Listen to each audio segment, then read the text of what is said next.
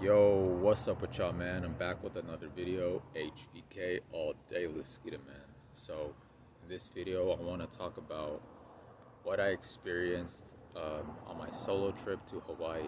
Okay, so this is gonna be like a little story video.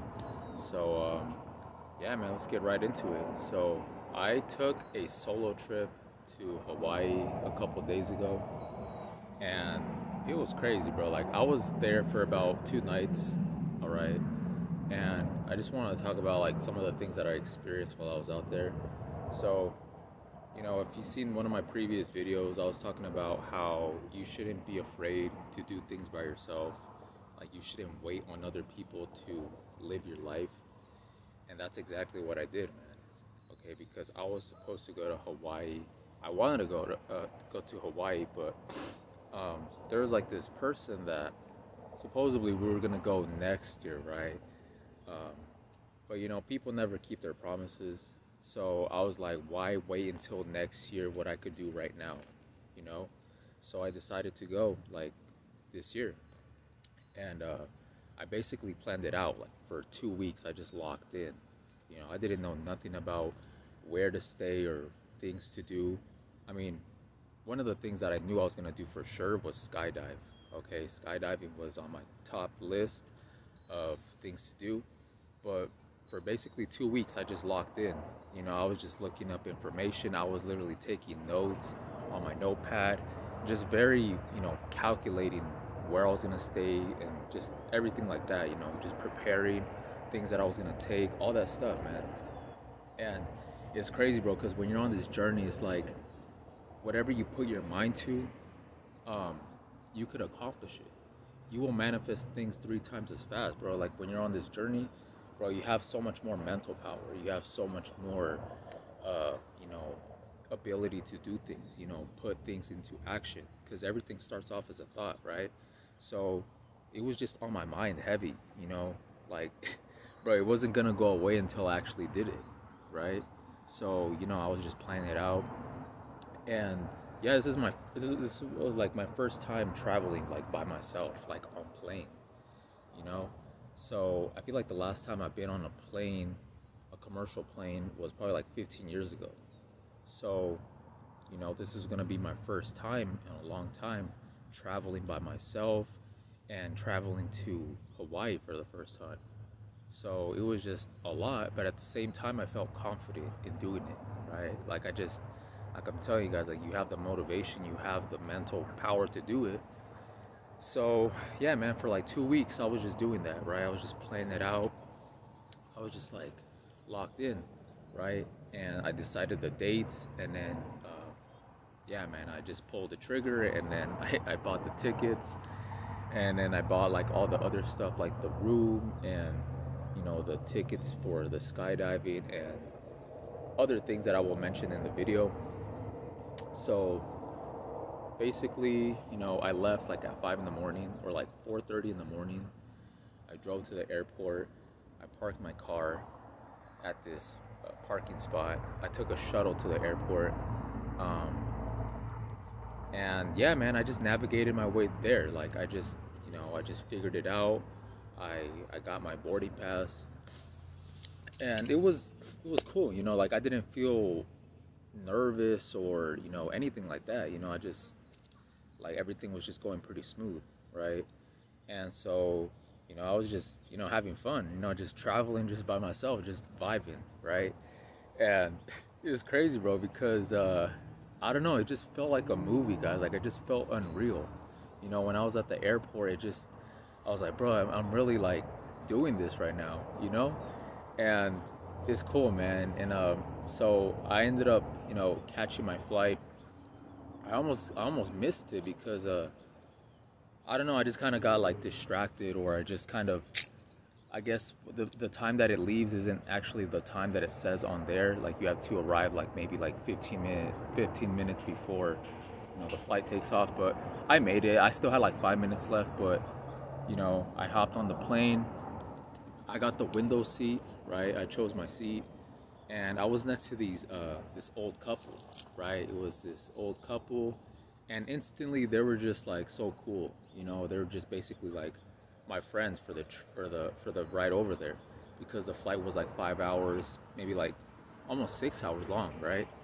And I was flying out of California, so yeah, man, I was just talking to them. I was just chopping it up with just some strangers, and it was cool, man. You know, I was just talking to these these old folks, and at the same time, just getting in the scenery of the view, like bro it was crazy man. Like you're just flying over the ocean for like such a long time and all you see is just clouds and it just looks unreal okay? So after the flight right after the flight i got off the plane and then the next step was going to rent a car all right? I already you know booked that as well so i just needed to find the place and i got a little lost right when i got off the plane I was just trying to see where this place was because it wasn't really accurate on the map. So I was just walking around for a little bit, and uh, eventually I asked somebody, I was like, well, "You know where this is at?" And then they kind of led me to it, so I found the place. So I got the car, right? I got the car, and then from there, I was gonna use the GPS on the on the car, but I was having trouble with that, like something. I don't know, like I I was gonna use the GPS from the car, but for some reason, like it wasn't really like working, or you had to do something to use it. But I was like, basically, long story short, I uh, ended up using my own GPS, right? Because I was trying to leave at that point. You know, I was trying to go to my hotel and all those things, right? So what ended up happening, this was probably like the most nerve-wracking part of the trip, is um, I headed out, right? and I didn't have a phone mount or anything. So it was just, you know, I just had the car, I had the rental car, and I had my phone with the GPS. And then from there, I just headed off like into the street, bro. Like I just drove off into the street, and I was just like trying to navigate my way to the hotel just by listening to, you know, the GPS because I couldn't really look at the screen because um, I didn't even have a phone mount or anything, right? So I ended up taking like some wrong turns and all these things, man. I had to like pull over, and I was just like, bro, like, you know, that was like the probably the most nerve wracking part of the trip is just, you know, trying to navigate my way in the street, you know, being in a totally different place, and um, I mean, you know, I ended up just making it work, right? Like I just took a freeway, and it was it was a pretty easy path from there, right? I was just very careful and like to not make like a wrong turn or a wrong exit but eventually I found my way and I was staying in Waikiki. Okay. Um, I found the parking lot and then the first thing that I did was just park the car there and I got a burger, right? I just got a burger, just like random, just a random burger. And I headed up to my hotel and it was nice, you know, it was just like, a, it had like a balcony, just had a view of the beach and uh, Diamond Head which is like this crater that you could actually hike, which unfortunately I didn't get to hike it because I ran out of time. But basically, you know, I got to my hotel, I was eating my burger, and one of the first things that I noticed is that all the birds out there are like extremely comfortable like being around you. You know, they get so close to you, like they're not like like birds where I'm from, where they're just very like they don't even get close to you um, these birds will be like literally inches away from you, right? And all of them were like that, okay? So the first thing that I did when I got to my hotel was, you know, eat a little bit and then uh, I just went for a walk, right? I just literally just went for a walk. And it's so trippy out there, guys. Like the trees just look so majestic, you know, the trees just look so like psychedelic almost, you know, it just looks all like like there's just palm trees and there's these like weird looking just different types of trees you know and, and these different like types of birds and things like that man and like i was just vibing right? I was just walking through this just so much greenery right? There's just so much grass so much green trees right next to the ocean. And bro it was it was beautiful right? And i just put a towel down like i just put like a, a blanket down and i just like i was just meditating right? I just meditated. I was listening to music, had my uh, earphones with me, right? Um, so yeah, I was just vibing, right? Like I was just walking around. I didn't really do much the first day because you know I was just kind of tired, but you know I was just you know just in nature, right? Just in nature. Um, just saw the sunset at the beach. Headed back to my hotel at night. Or I got like a fruit bowl or like whatever you want to call it, like a acai bowl, something like that. Uh, headed back to my hotel and just basically, you know, just chilled out for the rest of the night. You know, just chilled out. And you know what's funny? This is a funny part. Basically, you know, they had a TV there, right? Like all hotels do. And I turned it on. And I wanted to see what was on, like for movies. So I clicked on movies. And guys, tell me why when I clicked on the movies, it was nothing but corn, right? It was nothing but like adult videos. And I'm just like, bro, what the heck? Like, I was expecting like movies, like actual movies, you know, you know, just movies, but not those type of movies. So I was like, bro, what the heck? And I just, I ended up turning the TV off, bro. I was like already tired at that point. I was just like, you know, I just wanted to see what was, what movies were on, but it was just corn, bro. It was that, that pornography, right? So I was like, what the heck? And I was just thinking, like, bro, can you imagine, you know, being on vacation or being in Hawaii and you're over here in this room just watching porn, bro, while you're literally in Hawaii, just all the other stuff that you could do, and you're just there doing that. So I ended up just knocking out. You know, I just went to sleep. The next day, I woke up like at five in the morning or so, and uh, so the first thing that I was gonna do was go skydiving. So yeah, man, I just got like some breakfast a little bit, um, and just headed out. You know, it was like an hour drive, and I ended up making it work, right? So with my phone with the GPS, I ended up putting I was able to put my phone like against the window and against the dashboard. So it was like holding up like perfectly.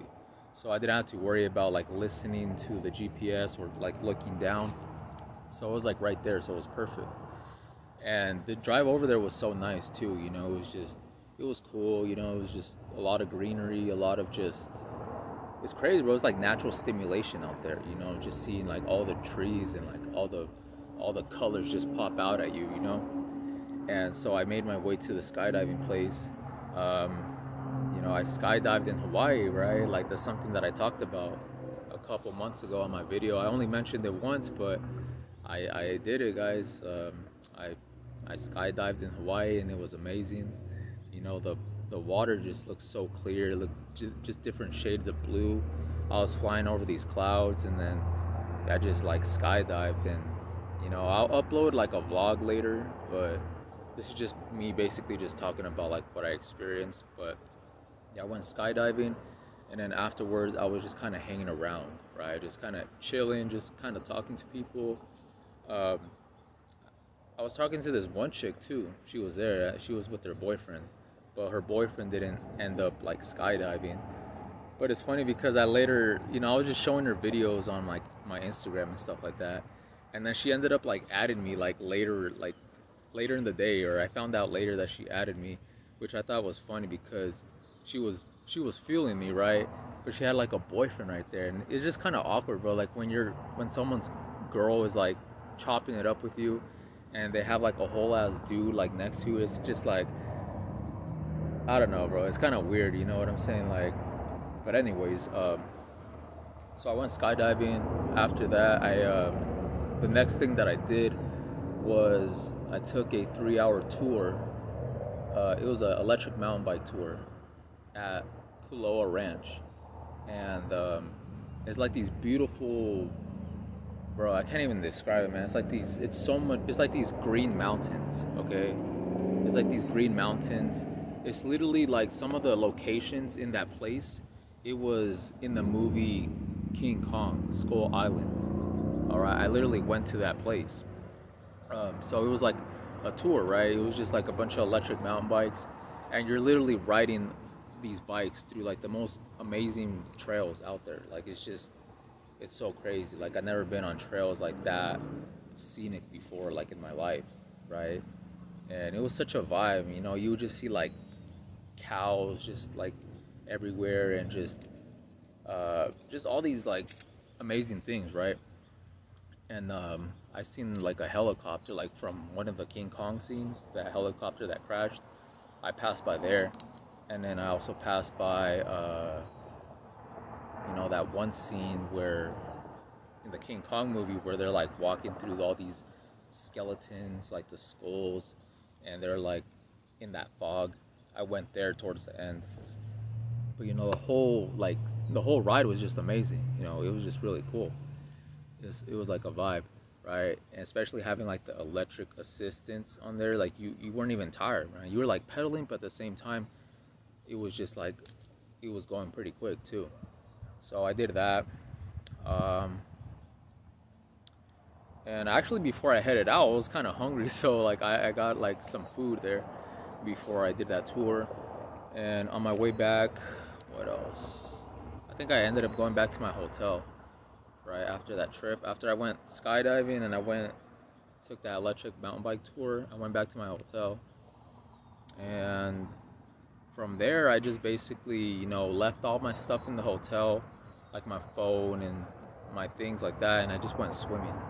I went night swimming. Um, and this one section in Waikiki where it's basically they they kind of put like a wall. So it's so it's like you're it's basically like a big pool pretty much. Like it's not the actual ocean, but you know you feel more comfortable actually swimming in there because you're not getting tossed around like by the waves at night or things like that, man. And to be honest, guys, like I'm more afraid of the water than I am of the sky. You know, like the ocean, bro, is just like you never know what's underneath you, bro. And especially like being in the middle of an island, like you're literally like in, you know, sharks could just pop out of nowhere, right? If they really wanted to. Um, so I'm not really that like confident going deep into the water. So, but I ended up swimming though, like in this little other area where it has like a wall, and yeah, it was like during nighttime and like the moon was out, and I ended up seeing like this show it was like a light show. It was basically like drones. I think there were drones. They were making like imagery, right, with lights, which I thought was pretty cool. You know, um, yeah. So I swam for a little bit.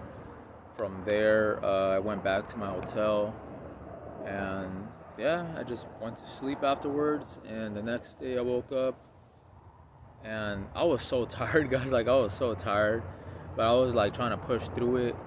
Um, unfortunately, like I didn't do a lot of things that I wanted to do. Like I wanted to go hike Diamond Head, or I wanted to go to like different beaches or just different places, right? But I was just like, like I was only there for two nights, and you know I only did what I could, right?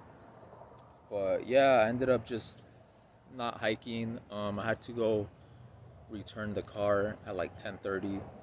I had the flight like at one so I always try to arrive earlier than expected when you're at the airport. So, you know, my last day there, I basically just went to the beach, you know. I just went to the beach, um, just swam a little bit, and just headed back, you know. I just headed back and went to go return the car. And, you know, just went back to the airport and yeah, it was just pretty much just took a flight back, and then on the way back, it was just it was cool too because like the sun was going down, you know. So I, I saw the sunset from the plane, um, which was pretty cool. Um, from there, after you know, after I landed, what else did I do after that? Uh, yeah, basically I just headed back, and then there was like outside of the airport, there was these taxi people, right? And I asked them, I was like, "Oh, how much for?" A... It was literally a five-minute drive, right? And the person wanted twenty-five dollars for a tw- for a five-minute drive, and I was just like, I ended up walking. You know, I walked for like thirty minutes, but because I wanted to, right? Like I was just like, I didn't even care at this point. Like I wanted to walk. Um, I was on the plane for like five hours, so I didn't even mind walking. You know, it was probably like maybe like 11 at night or 10 at night, I just started walking back to this part where I actually parked my car. Um, headed back and then just, you know, went home. And that's pretty much it, guys. That's pretty much it, you know. Just just wanted to talk about that. Uh, you know, like I said, I'll, I'll, make a vlog or something. Like I'll just put like uh, some of the clips together of like what I experienced and things like that. But in this video, I just want to talk about like just what I've experienced, like verbally and things like that. Um, but yeah, it was cool, man. Like I said, it was like a cool experience. It doesn't even feel real. Like it doesn't even feel like I went. Okay, but I did, and yeah, man, it's just so crazy, bro. You know, it's just so crazy. Like you shouldn't wait. Um, you shouldn't be waiting for too long to do things, man. Like I said, don't be afraid to do things. Like I said, this was my first time traveling like by myself, like on a plane. You know, it was crazy, bro, but it was like an adventure at the same time. You know, I was just out and about, you know, being independent, not relying on like anybody else, right? Uh, that, that's what it's about, man. You know, it's just you, okay? It's just you and whatever you want to do, which is which is cool, man. But that's pretty much it. That's all I did. Um, it went by quick, guys. Like I said, it went by quick. I feel like if you go to Hawaii, you gotta stay there for like a week or something, man. But it's cool. It's like a vibe out there. I remember something else that I remember is uh, I saw like people out there just riding like mopeds. You know, you could ride, you could rent mopeds out there, and I don't think you even need a motorcycle license. There's people out there just literally just riding the moped like all casual. You know, just with sandals, no helmet you know, just like like nothing. And yeah, I'll probably do that next time, maybe. But you know, this time, you know, I rented a car, uh, went skydiving, took a three-hour mountain bike tour through Kualoa Ranch, and just took in the sights and all that stuff. So it was a cool experience, man. Definitely recommend doing those things, man. If you ever go to Hawaii, know, skydiving and taking the e-bike tour, the three-hour one, because they had different options too. Like you could horseback ride, or you could ride like an ATV out there, or take like a bus. But all those like they're not as good as the electric mountain bike one. Like I'm telling you guys, like the electric mountain bike is so much better because you're not on a bus. You're not like, bro. You feel like you experience the scenery a lot more. You know, because the electric bound bikes are quiet you know they're more independent. You don't have to be just sitting in one spot. You could actually just enjoy the ride. And it's so much better than than the other options in my opinion. It's so much more worth it to just ride a bike uh, through these amazing trails right? It's so cool. But that's pretty much it guys. That's pretty much my experience with hawaii um, it was cool man it was it was cool bro like kind of kind of speechless, but you know, it's just because, like I said, it didn't even feel real. Like it just happened like so quick, but only the memories remained, and that's what's important, guys. Like you gotta you gotta live your life, man. You gotta not be so stuck in life. You know, you just gotta do things once in a while. You know, um, you know, because last year I actually went to Vegas. I did a solo trip to Vegas, and that was a blast as well. But this year I took a solo trip to Hawaii and it was just a trip, like literally and figuratively. You know, it was just a trip. Um, I enjoyed a lot of it. You know, um, I planned it out very well. So yeah, man, that's all I wanted to talk about. It's just my little trip to Hawaii by myself. It was a blast. it was really it was really fun. So I'm gonna upload a vlog couple of videos of what I saw out there and just to get you guys more of a, a visual, like, whatever you want to call it, like what I saw out there, you know, or what I experienced. But that's pretty much it. Um, hope you guys enjoyed the video, and I'll see you guys in the next one. Peace.